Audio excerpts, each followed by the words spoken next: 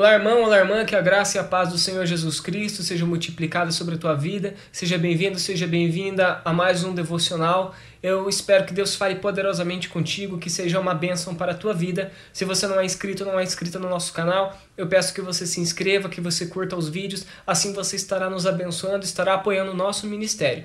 Hoje nós vamos falar um pouquinho sobre José. Nós vamos ler aqui Gênesis capítulo 37, versículo 5 em diante.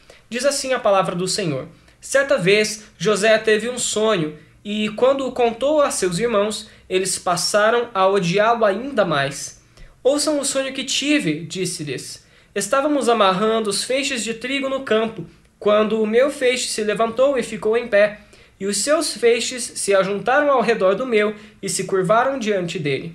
Seus irmãos lhe disseram: Então você vai reinar sobre nós? Quer dizer que você vai nos governar?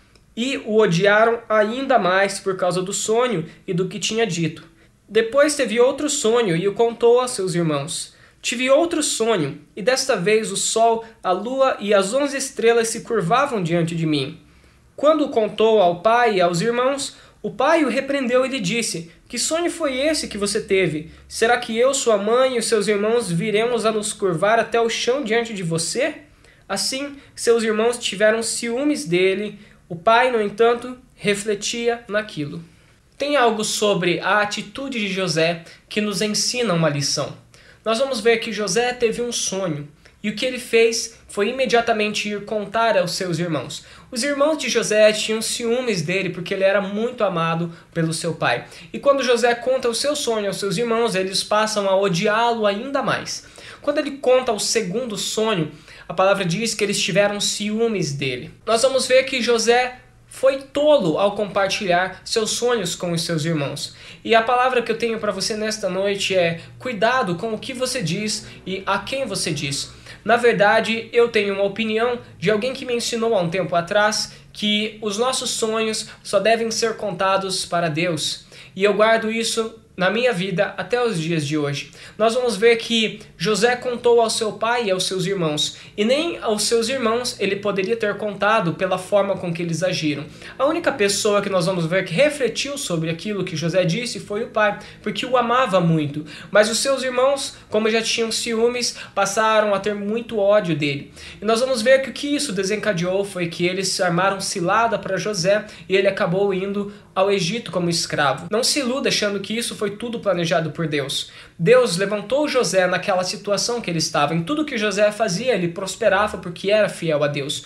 Mas se os irmãos de José não tivessem vendido ele ao Egito, Deus teria feito de outra forma com que José alcançasse aquilo que ele estava prometido, aquilo que Deus tinha planejado para ele. Só que às vezes nós somos tolos e por causa da nossa falta de sabedoria, nós acabamos passando por caminhos difíceis, mas Deus estará lá conosco. Mas eu te pergunto, você prefere ir pelos caminhos mais difíceis? Nós devemos pensar em quem você tem confiado, no Senhor ou em pessoas? Eu já falei alguns vídeos atrás sobre em quem temos confiado. A nossa confiança deve estar inteiramente no Senhor. E eu tenho um alerta para a tua vida: sonhe, mas os teus sonhos sejam somente confiados ao Senhor. Não conte os teus sonhos para pessoas estranhas, não conte os teus sonhos para pessoas que poderão te odiar, poderão ter ciúmes por causa destes sonhos. Os sonhos, eu creio, que são projetos de Deus que são colocados no nosso coração e nós devemos cuidar. Se Deus colocou um sonho no teu coração, cuide dele. Não compartilhe com qualquer pessoa. Ore, permaneça focado nesse sonho, mas seja prudente, cauteloso, porque ao nosso redor está cheio de pessoas que querem nos destruir. Isso é algo que eu aprendi na minha vida e eu desejo compartilhar isso com você. Desejo que você viva isso, que você seja prudente e cauteloso.